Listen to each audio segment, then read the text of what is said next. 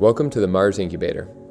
This habitat is created primarily from Martian materials for efficient construction and provides a safe and robust environment for human life on Mars.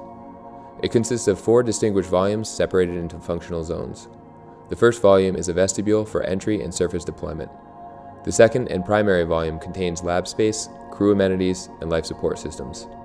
The third volume is a flexible space for multiple activities, and the fourth is a biogeneration area designated for plant growth. The fabrication process begins with the external support structures, created by adding successive layers of laser melted basalt fiber in a fused deposition. Next, the lower panels of the habitat exterior are placed on the external supports. These panels are made from regolith and polyethylene and are reinforced with impact resistant fibers. The properties of these materials provide effective pressure retention and protection from impacts and radiation. This technique allows multiple configurations of panels to be manufactured with the same process and equipment. With the lower panels in place, the internal framing and paneling can be assembled on top.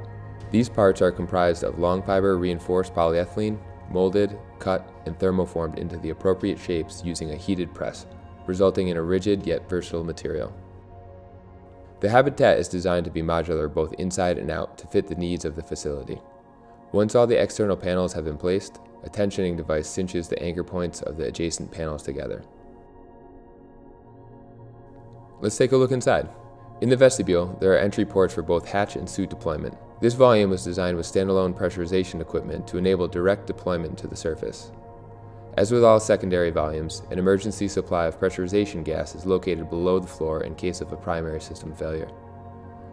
Moving into the primary volume, to our left we have a sample processing area.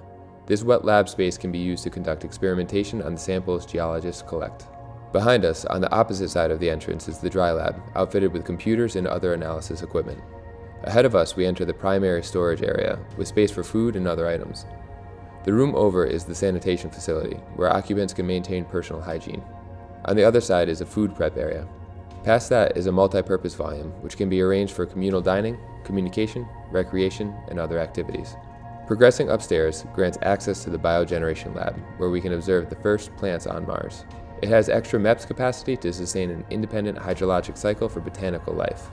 At the top of the stairs, we find the crew accommodations and ample room for more storage. Back downstairs, we can take a look at perhaps the most important space. The heart of the habitat is the ECLS system, housed in the bottom third of the primary volume.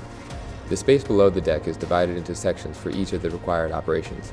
HVAC, water management, oxygen generation, and power distribution.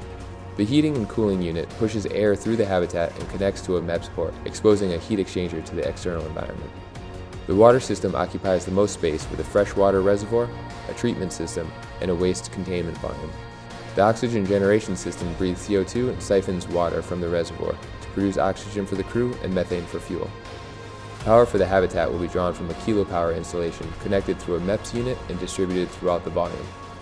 Together, these systems can sustain a crew of four astronauts for beyond one year. The Mars Incubator offers a modular design, efficient construction, and a viable living area for a productive and comfortable mission to Mars.